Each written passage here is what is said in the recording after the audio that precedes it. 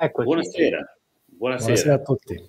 Buonasera a tutti. Parlo io, Giuseppe, scusami, perdonami, parlo io.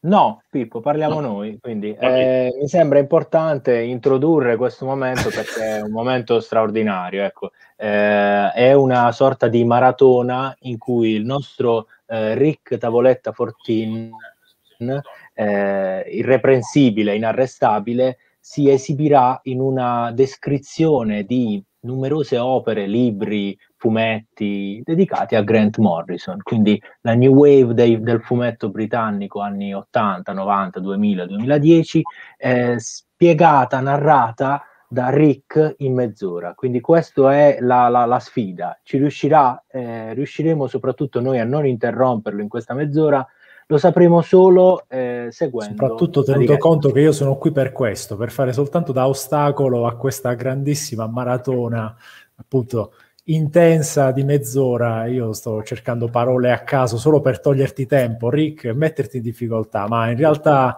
ti lasciamo il tuo spazio. E... Vai, Rick. No, volevo dire che non sono mezz'ora, sono eh, 27 minuti, quindi voglio dire, mi avete tolti tre e quindi eh, voglio dire, eh, ho tre minuti in meno, va bene.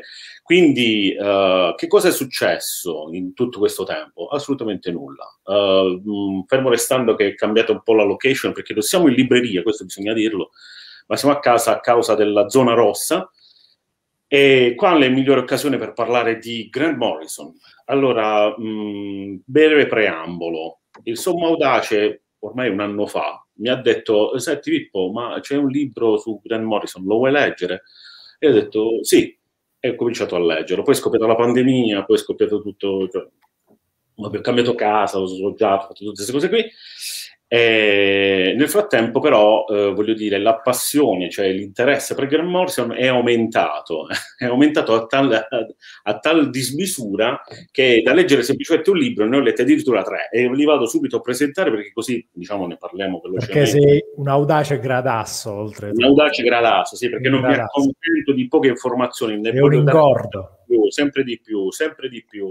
Come un famoso amaro. Quattro eh, esatto, sì, sono, quattro opere importanti, sì. diciamo. Sono quattro opere. Allora, eh. io vado subito per elen- elen- elencare. Il primo che ho letto è questo, di Luigi Siviero, dopo il crepuscolo dei supereroi, Graham Morrison, Alan Moore e la British, British Invasion, eh, che, di cui poi parlerò. E infine, cioè poi, continuando, c'è anche questo splendido libro eh, che è Graham Morrison All Star di Agozzino Peruzzi Solinas, edito da uh, Double Shot. Double Shot. Eh. Questo invece è eh, edizioni eretica, eretica edizioni. E poi, eh, diciamo, non contento, mi sono andato a prendere anche il libro proprio di Grant Morrison eh, sui, sulla sua visione, eh, appunto, la sua descrizione del mito del supereroe, ed è questo qui, Super Gods di Graham Morrison, edito da Bao, cioè da c'è il cane di Bao, eccolo lì il cane di Bao.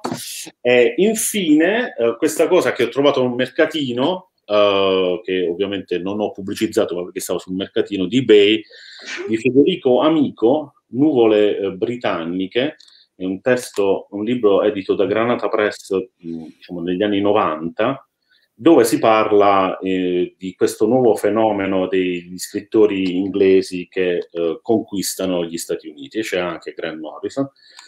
E, ma partiamo subito da questa rapida disami, disan, disamina. Allora, io non farò l'esegesi dei testi perché non ne sono capace. Ho detto esegesi, quindi già sono, ho fatto un punto, ho fatto un punto a mio favore. Grazie per averlo chiarito, Pippo, perché insomma non vorremmo creare aspettative troppo alte nei confronti di esatto, questa infatti, cioè, anche perché sarebbe impossibile diciamo, parlare in mezz'ora di Graham Morrison, visto il, il, numero di opere che ha pubblicato, che Giuseppe ogni tanto fa scorrere come i titoli del telegiornale. Non dire eh, possibile, altrimenti vai, questa vai. live non, non, avrebbe senso di esistere, quindi tu procedi.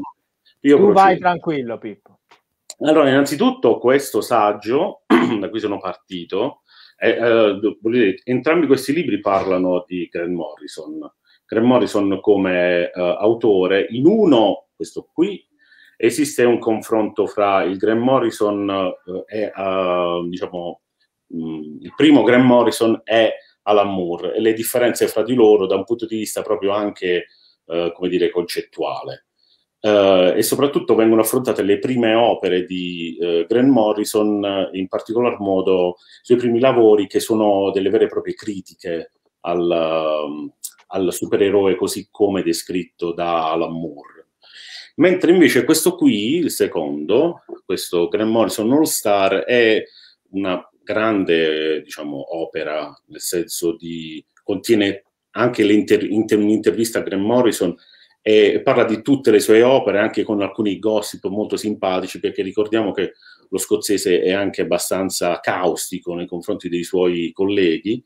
E, e se vogliamo è anche negli intenti degli autori stessi, è un'opera molto, come si suol dire, tra virgolette, nerd, cioè per persone che, voglio dire, uh, hanno una vera e propria passione. Quindi è un libro che accanto alla, mh, alla critica, diciamo, oggettiva, se poi si può dire critica oggettiva, o all'esegesi dei testi, ecco, ehm, pone anche molto l'accento sulla passione per il, lo scrittore scozzese. In breve, in breve, che cosa, di cosa parlano questi libri, a parte della loro descrizione? Quello che ne ho fatto un po' un sunto io. E, è che Graham Morrison ha avuto in qualche modo la fortuna sfortuna di venire dopo Alan Moore eh, visto che Alan Moore ha de- ridefinito il genere dei supereroi con un famosissimo Watchmen, di cui tutti quanti ormai ricordiamo, tanto chi l'ha letto, chi non l'ha letto, si seguirà una prossima diretta su Alan Moore, e lui dove ha praticamente decostruito i, mh, i personaggi, uh, i supereroi, li ha completamente demoliti uh, attraverso un, diciamo, una narrazione molto improntata a una forma di uh, realismo, quindi non più quindi quel, il supereroe come uh, il, il, vicino del quartiere che ti dà una mano, ma una specie di protofascista un po' spostato di, di mente e quindi anche in qualche modo violento, soprattutto per quegli anni. E, mentre invece uh, Graham Morrison in un primo momento si è allineato a quel tipo di, di scrittura eh, perché comunque era un po' di moda, diciamo allora. Ma poi ne ha diciamo, man mano preso sempre più le distanze fino a, appunto a contestarlo apertamente sia nei testi, eh, sia anche poi pubblicamente in, in interviste e ad altro, puntando, come dire, ad un ritorno alla figura del supereroe, eh, quella proprio degli anni 60 e eh, in una visione ovviamente nuova. E soprattutto c'è una grande incomprensione fra i due e comunque che non riuscivo a capire, poi dopo sono riuscito a cogliere, è che Graham Morrison definisce il periodo in cui Alan Moore para questo nuovo canone dei supereroi, eh, lo definisce Dark Age, cioè un'epoca oscura fatta di questi personaggi. E paradossalmente invece nella storia del fumetto la, la, la, le opere di Alan Moore e di Frank Miller eh, sono riconosciute ecco, come il, vengono, de, vengono, definite come capostipiti del, del, rinascimento americano del fumetto. E quindi da notare il fatto che da una parte è riconosciuto come un riconoscimento, un rinascimento insomma, del, del, mondo supereroistico, e invece Graham Morrison in una linea, in un modo completamente diverso, lo va dire, a ridimensionare, a dire no, guardate, eh, questa storia è tutta una balla, altro che rinascimento, questi sono... Pensare, pensare che oggi abbiamo altri tipi di nuovo rinascimento che vengono eh, maldestrame, sì. maldestramente citati in eh, sì, località del. È il nuovo rinascimento arabo e tra un po' scopriremo che anche quella è una dark age, cioè, la dark age Vabbè, questa Perfetto. è una mi stai togliendo dei minuti, Fosco, cioè mi stai togliendo dei minuti. Io sono qui apposta, non posso dire altro. Eh, in effetti, in Io, effetti eh, scusami, prima, libro, eh, sì, prima di, di, di, concludere, no, volevo solo dire, aggiungere una cosa, non volevo eh, assolutamente eh, interromperti. È molto interessante il discorso su, eh, insomma, sul, sull'approccio di Grant Morrison sulle opere di, di Alan Moore. Bisogna, si potrebbe aprire un ulteriore eh, capitolo a parte. chiaramente, voglio dire, eh, al di là delle interpretazioni, stiamo parlando di due, di due giganti del, eh, diciamo de, del, del fumetto contemporaneo, ma insomma del fumetto dagli anni 80 ad oggi. E, è molto bello anche, diciamo, come eh, spunto anche approfondire sia anche insomma, gli autori di queste, di queste opere, perché eh, Luigi Siviero ha scritto anche eh, altre opere proprio biografiche su Grant Morrison, è una sorta di eh, studioso proprio delle, ehm, delle sue opere, e eh, due tra eh, gli autori invece del, dell'altro saggio che hai citato eh, sì. attualmente lavorano proprio con, anche con le opere di, di, Grant Morrison perché eh, si interfacciano quotidianamente con, con, i fumetti in quanto sono nella scuderia Panini Comics. Quindi diciamo sono entrambe opere che insomma hanno, hanno un valore credo insomma notevole. Ecco. Non volevo interromperti eccessivamente, ma mi faceva piacere anche sottolineare questo aspetto qui. No, mi piace che tu mi sottragga del tempo, perché voglio dire, alla fine... Sì, in realtà eh, è quello. Lo scopo era quello, sì. In realtà è quello. Vai con Super Gods. E, e poi invece, quindi Super Gods invece, perché ovviamente su questi libri, su questi libri qui, si danno per scontate alcune, eh, come dire, affermazioni eh, che sono contenute in questo libro, in questo saggio di, di Grant Morrison, dove lui prende proprio dalle origini del fumetto, ovviamente eh, descritte a modo suo in base alla uh, sua visione. E la, appunto la suddivisione che lui dà delle epoche del fumetto è appunto questo, ecco, la Golden Age, il Silver Age, non so se si legge, vabbè io, Silver Age e Dark Age, ecco, dove c'è il mio grosso dito, il mio grosso dito grasso greco, e, e ovviamente poi il Rinascimento, che guarda caso coincide proprio con lui, con le sue opere, quindi il vero Rinascimento è lui, non, non è, eh, come dire, il ha simpatico. una sorta di, di, di ris- restaurazione, insomma, eh, storiografica sì. del fumetto, in qualche modo l'ha riscritto la storiografia, eh, diciamo, recente, no? Anche perché comunque bisogna dargli merito del fatto che grazie a Grant Morrison e alle sue opere, che sono tantissime, voglio dire, lui ha scritto per quasi tutti i personaggi eh, supereroistici o supereroistici vabbè, questa cosa qui, ecco, non mi viene. Mi è venuto bene esegesi, supereroisti, non mi è venuto male. Ehm, eh, che stavo dicendo, quindi lui ha, ha comunque ha, affrontato queste cose. Scusate, mi stanno salutando i nipoti. Ciao nipoti, eh, perché la diretta da casa no, fa la DAD. Un po come funziona così, funziona così, ma vai funziona tranquillo. Come la DAD. Vai tranquillo, io distraggo nel frattempo. Sì, tu vai, vai, vai, tu. E, uh, Uh, Graham Morrison, però, ah sì, un merito di Graham Morrison bisogna pur riconoscerlo, è il fatto che comunque lui è riuscito a um, parlare, eh, a, a, dare ai supereroi una via, diciamo, per comunque per continuare il loro percorso, perché in effetti Alan Moore aveva completamente distrutto tutto e voleva completamente distruggere tutto. Secondo molti lui era proprio, eh, d'altronde anche le sue ultime dichiarazioni o penultime, perché ogni tanto parla Alan Moore, eh, sono appunto nel segno di una mh, totale chiusura nei confronti del fumetto supereroistico. Eh, e quindi voglio dire, alla fine l'amore, uh, cioè, Graham Morrison è colui che ha dato un po' una speranza al genere, riscrivendolo in modo anche, voglio dire, piuttosto discutibile in alcuni casi, meno in altri. In altri casi grandioso. Eh. Eh, faccio degli esempi, Pippo. Vogliamo fare, ecco, ecco, grandi esempi. E me l'esempio, aspetta, questo, ecco questo qui, che vedo che hai anche tu, di caro, caro Fosco, visto che hai anche tu, e questo è All Star oh. Super. Oh, All Star Superman. All Star Superman. All Star Superman del grande Graham Morrison e di, eh, lo dico in italiano, Franco Calma Calma. Frank Quietly. Eh, scusate.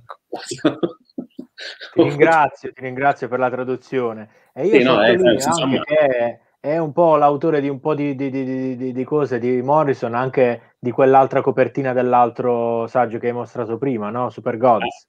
Eh, eh, eh sì, no, in effetti sì, ci sono, ci sono anche qui. Vabbè, qui c'è riferimento. Ovunque. Eh, c'è ovunque. ovunque. Nel caso sono proprio, diciamo, comunque amici. Comunque, tornando a Superman, a parte, vabbè, lo dobbiamo dire, eh, perché questa cosa va detta, questa fascia si può vedere. Eh, infatti Giuseppe, cioè, tu ci hai fatto vedere la, una, un'altra, un'altra edizione. Giuseppe, mostra la tua edizione. Ecco, eh, No, ecco. no, no, ah, no, no, no. Io eh, d'epoca, eh, ce l'avevo già, ragazzi, quindi ecco, eh, io ecco, sono Qua abbiamo il lutto. Anzianotto, anzianotto. Lutto. Ecco, questo è il lutto, come dire, è il mestiere del lutto. Vabbè. Eh, però, oddio, parlando della storia, cosa dire? Eccezionale, questo Superman che si può dire, lo possiamo dire, anche se ultimamente non va molto di moda. Si, si prepara a morire, diciamo, no? diciamo così, più o meno. Poi, tra l'altro, voglio dire, non si vede mai la morte, neanche nelle ultime pubblicazioni. Scusate, ho fatto una battuta, ma mi sia concesso. Questa era sottile, questa era sottile. Sottilissima, sottilissima.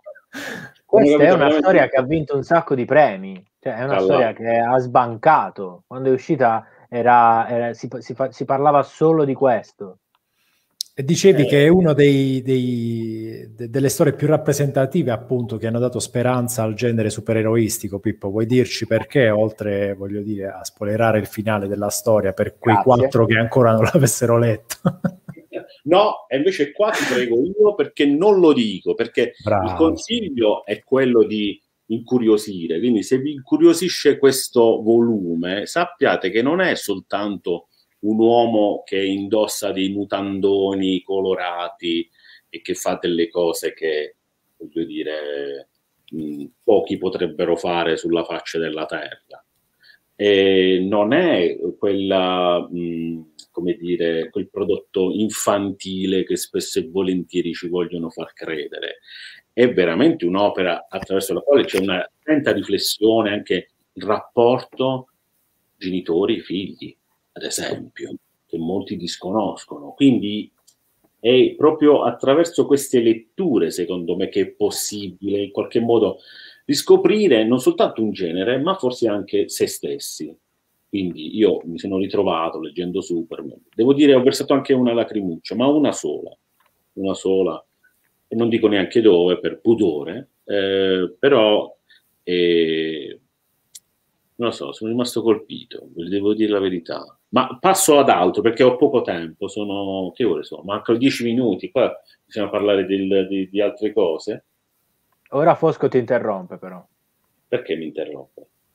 No, io aspetto che invece lui incalzi per interromperlo e per ah, okay. fare più danni. Io vai, intervengo. Vai Poco, allora, io ficcante. questo volumone qui, The New X-Men, e ovviamente lui si è cimentato, anche qui questa opera, se vogliamo, ci stanno, è un volume, ecco, l'Omnibus di Graham Morrison sugli X-Men, che diciamo lui è stato chiamato appunto a, a di, di, a, ris- no, a riscrivere, ri- a, ridare, come dire, un nuovo vigore a questi personaggi e con nuove divise, nuovi, nuovi abbigliamenti e soprattutto con una storia anche qui molto, mh, mm, eh, molto adulta, se vogliamo, per certi versi, e sempre in compagnia di uh, Frank, Fra- Frank Quitely, Franco Calma Calma, eh, anche se non tutto, il suo vol- non tutto il volume è scritto, disegnato da Frank Whiteley, ma soltanto alcune parti, infatti altre, devo dire la verità, un po' mi sono dispiaciute, cioè da un punto di vista proprio del disegno. Ma d'altronde Graham Morrison non ha mai fatto mistero del fatto che, salvo quei disegnatori con cui lavora abbastanza, che sono, sono amici, diciamo, il resto non gli frega poi magari più di tanto. E quindi voglio dire, va bene la, la qualunque, sostanzialmente. Uh, cos'altro dire? Cos'altro dire? Beh, allora. È una storia che ha ridefinito, diciamo, è la, è la più grande rivoluzione no, del, dell'X-Men prima del, dell'era di, di, Jonathan Hickman, potremmo, potremmo definirla così, perché sostanzialmente ha, ha, espanso in qualche modo l'universo narrativo dei mutanti e anche proprio numericamente eh, ha, ha, ha, dato origine a, a, nuovi personaggi che ancora oggi, eh, diciamo, sono presenti. Sono sì. presenti nelle, nelle testate, quindi tutto sommato le sue idee sono state in qualche modo rivoluzionarie, aveva anche proprio presentato un manifesto programmatico per, eh, per tutte le modifiche che avrebbe voluto port- apportare ai personaggi. Che non ha comunque portato per intero, diciamo, perché comunque ah. voglio dire, un uomo rivoluzionario, così diciamo visionario anche come Grant Morrison, non ha avuto comunque questa carta bianca per poter fare eh, quello che vuole, anzi spesso e volentieri è stato diciamo, anche osteggiato e quindi magari ecco perché alcuni, alcune, alcuni cicli narrativi sono piuttosto eh, discutibili se vogliamo, perché magari interrotti in un determinato momento o comunque che non hanno poi eh, seguito quelle che erano le sue, in qualche modo le sue direttive. Ricordiamo anche Batman, per dire, per fare un esempio, ma soprattutto queste sono le opere che lui ha scritto per le, le grandi case eh, di fumetto americane, quindi Marvel e DC. Eh, non credo, credo che abbia praticamente mh, scritto per quasi tutti i personaggi diciamo, di, di queste case editrici, eh, però una cosa importante va detta che Graham Morrison è partito, eh, si, è, si, è, anche affermato con delle serie eh, cosiddette minori e eh, che sono poi confluite in questa linea DC che allora prendeva il nome di Vertigo e che oggi non esiste più. Eh. E in particolare, ecco, eh, grande dispiacere questo fatto perché la DC ci ha privato dei titoli di una linea adulta dove ricordiamo c'era Sandman, eh, poi ricordo Hellblazer, comunque c'erano grandi serie e in, in questo ambito uh, Graham Morrison ha prodotto il suo capolavoro, se vogliamo, per eccellenza, che è stato recentemente pubblicato da, da, da Panini in un'edizione fantasmagorica, cioè nel senso per peso. Voglio dire, ci vuole, bisogna fare palestra per, poter, per poterlo leggere. E, e appunto è The Invisibles, cioè questo gruppo di di, si possono dire spostati? Si può, si può, è una parola legittima. Si intuisce, si capisce, sì, sì. e soprattutto questo, questo grande affresco eh, che devo dire la verità, io non ho questa edizione perché vabbè, la volevo acquistare, ma poi non l'ho acquistata più. Eh, ma non per il peso, per altri motivi che non sto qui, perché poi dopo finisce a polemica. Eh, l'ho letto però nell'edizione di, nei volumi più sottili, più agili eh, di, di, della L'editore precedente. Eh. L'editore precedente. Sì, scusami, l'editore precedente. sì. La distinta concorrenza. Vai. concorrenza. Anche perché si, si vedono le copertine, vabbè, non ce l'ho qui. Eh, ehm, e devo dire che alla fine è veramente per certi versi uh, molto disturbante la sua visione del mondo eh, sua, um, e soprattutto la natura dei complotti. Ecco, lui ha scritto un'opera in cui si complotta molto prima che i complotti diventassero, come dire, um, abbastanza notori, consideriamo quello che sta accadendo adesso, e quindi uh, aveva già questa visione eh, di una realtà, come dire, fortemente disturbata rispetto a quello che siamo abituati a conoscere e che la nostra conoscenza può avvenire attraverso comunque una sorta di, eh, di rito magico di liberazione, eh, per cui è dentro di noi effettivamente questa, eh, questa, questa rivoluzione, se vogliamo, questo, questo cambiamento.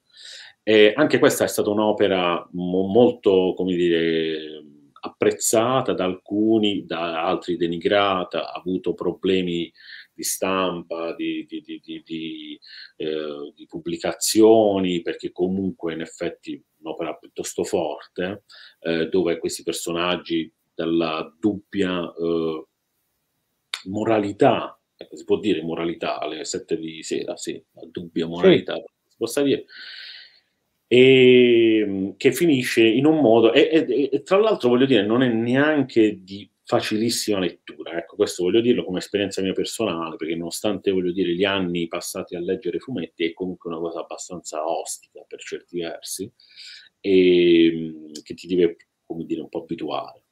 E tra l'altro... Mm, Panini ha annunciato, anche rimanendo sempre in tema Panini, Panini ha annunciato la pubblicazione sempre in volumi di dei volumoni, ecco, raccolte praticamente tutti gli archi narrativi di uh, Doom Patrol, di, scritta da, da, sempre da Graham Morrison, di questo gruppo, anche quello è un grande, un grande lavoro che lui uh, ha fatto su questo, diciamo, su questo gruppo minore, se vogliamo, di supereroi. E tra l'altro chi, chi vedesse, chi dovesse o avesse visto la serie su Amazon Prime eh, può notare che ci sono alcuni riferimenti appunto a Graham Morrison, cioè i personaggi citano proprio Graham Morrison apertamente come scrittore. E, e, ricordiamo tra l'altro che questa cosa non è tanto inusuale per Graham Morrison perché Graham Morrison compare addirittura in uno dei suoi fumetti, cioè come lo scrittore che scrive, che parla col personaggio e gli dice io ti ho scritto. Quindi ricordiamoci sempre queste, queste, queste, queste chicche, se vogliamo così.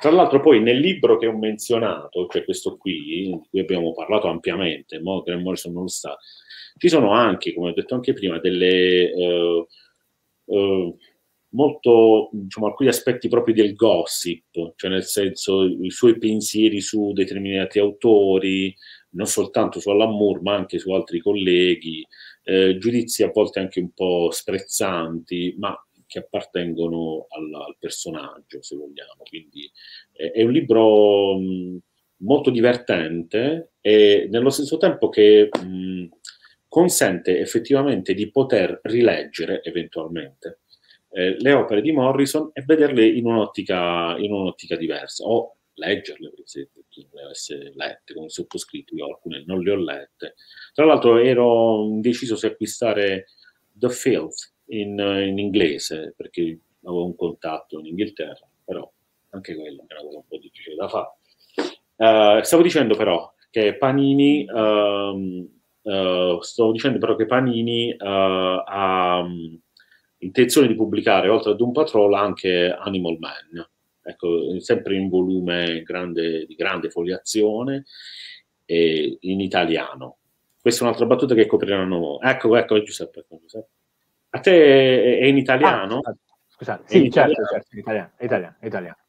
No, perché eh, quelle volevo... erano in spagnolo, tengo a precisare che volevo aggiungere, no, eh, cre- credo fosse in italiano, volevo aggiungere che eh, insomma Animal Man non l'abbiamo citato, ma è un, è un, aspetto un po' anche eh, tangenziale a quello che hai detto finora, cioè del, meta, del metafumetto, no?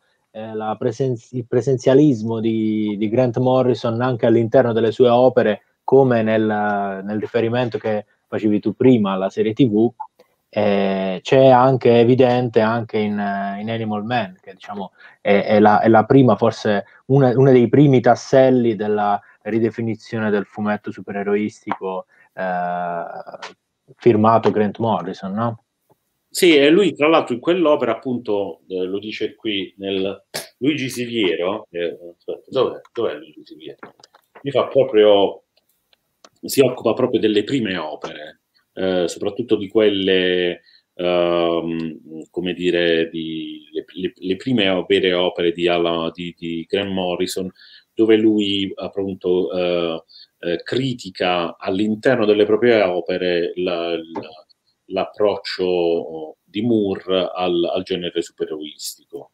E, e, peccato, diciamo, l'unica pecca di questo libro, se vogliamo, è che non ha eh, un, diciamo, un impianto eh, iconografico, cioè non ha eh, le, le, tavole, non, la, non, riproduce le tavole a cui fa riferimento l'autore quando si legge il libro, cosa che invece qui c'è, eh, però immagino che il taglio voluto, che è stato dato a questo libro è di carattere più critico e quindi, ehm, come dire, soprattutto nel rapporto fra i due, cioè fra Graham Morrison e Alan Moore. Eh, e soprattutto in relazione a questo grande fenomeno della British Invasion, cioè degli autori eh, inglesi che vanno in, in, a conquistare diciamo, l'America.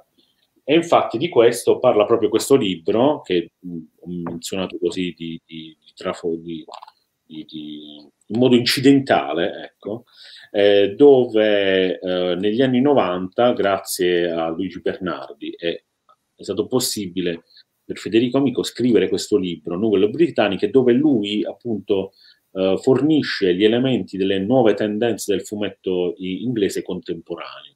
Quindi eh, Qui si parla di un giovanissimo Graham Morrison e di tutti gli altri autori inglesi che adesso, dire, hanno fatto un po' storia. È un libro datato, sicuramente, però che fornisce il punto di vista di allora, cioè di, degli anni 90, di quello che sarebbe, eh, diciamo, che stava accadendo in qualche modo e che noi magari non sapevamo perché boh, eravamo a guardare la TV. Uh, ah, Cos'altro dire? Uh, io passerei, visto che ormai penso sia finito il tempo, e purtroppo abbiamo parlato per mezz'ora, spero di essere stato esaustivo, ma non credo, perché comunque di Graham Morrison c'è da dire un sacco, c'è da fare altre centinaia di migliaia di puntate, cioè, capito? Io poi non capisco tutta questa enfasi, cioè, però sicuramente Graham Morrison va, ri, cioè, va come dire, riletto o letto detto, sperando che sia sempre chiaro. Però adesso io per la nostra famosissima rubrica che piace tanto a Giuseppe, devo dire, piace tanto a Giuseppe, Vai. a sinistra del Giappone, cosa abbiamo? E questo purtroppo è un altro, un altro grande classico, a sinistra del Giappone è ritornato Akira, eccolo qua. È ritornato. Oh, Akira o Akira.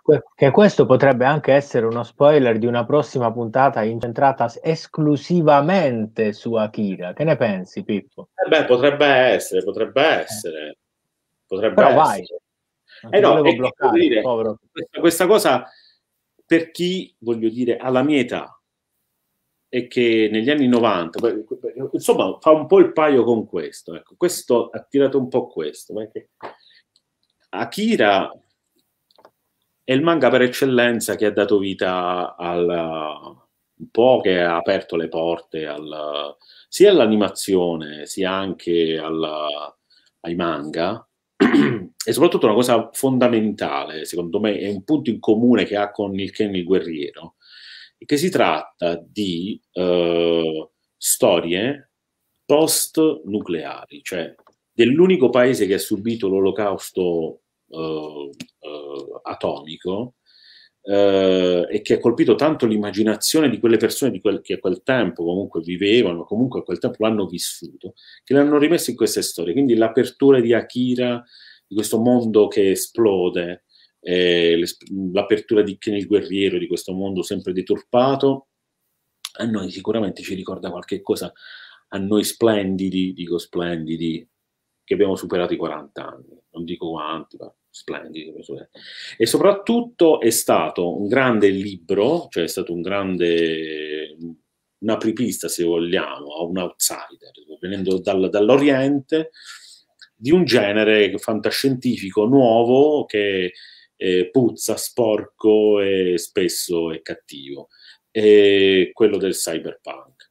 E quindi voglio dire, eh, non, non, c'è una relazione diretta, però sicuramente Akira ha contribuito a creare quelli, quell'immagine. E ricordiamo poi che Otomo è rimasto sempre su questa cosa, cioè nel senso al di là di qualche altro manga che credo abbia fatto, per il resto parla per lui soltanto questo. Questa è l'edizione nuova eh, pubblicata dalla Panini e per la quale io non ho comprato Invisibles nell'edizione. Oh, vabbè, poi è una cosa ecco, polemica. L'ha detto, quindi il legame con Morrison l'abbiamo trovato. il legame con Morrison non c'è e, ehm, e, lo faccio soprattutto diciamo, per Giuseppe perché Giuseppe ormai è diventato un mio fan per quanto riguarda. Io... Ce l'hai? L'hai preso? Ormai, ormai quando, quando, si parla di... Ce l'ho, ce l'ho. Quando si parla di, di, di, di, manga io mi fido solo di, Pippo. Eh, quando mi ha detto no guarda c'è insomma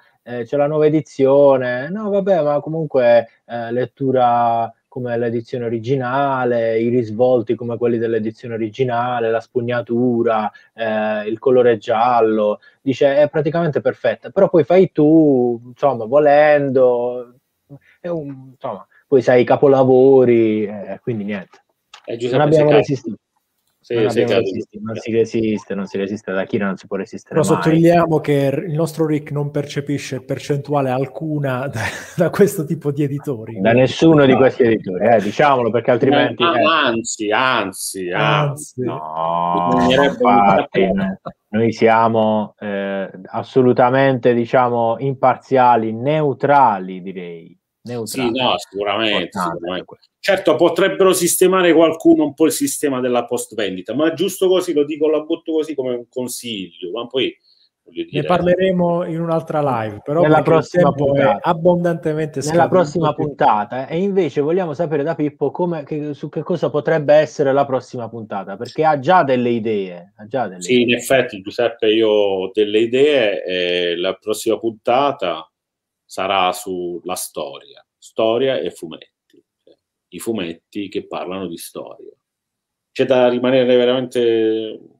Eh? Un grande tema, un grande, un grande tema, tema soprattutto è... attuale, ci tengo a precisare, soprattutto attuale, perché sì. visto tutte le cazzate, non so, si può dire cazzate, che si leggono spesso a proposito della eh, storia. Avevo capito un'altra cosa però, ti dico la eh, verità. Ah, vai, sì, vai, sì, questo, questo influsso no, toscano. Le, le, le, scempiaggini che si raccontano ecco, sì. sulla, sulla, storia, no? Le, queste riscritture, queste rivisitazioni che poi spesso fioriscono su, sui social, no?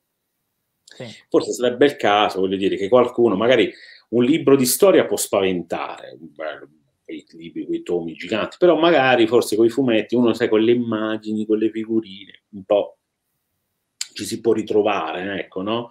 Giusto uh, per dire, ah, ma forse ho detto una cazzata. Eh, mi rivedo in queste cose. Quindi eh, secondo me è un tema attualissimo. Poi, Giuseppe, non, chiediamo, non chiediamo troppo, però. Comunque, Giuseppe, è importante perché bisogna reagire. Bisogna reagire. io su questa.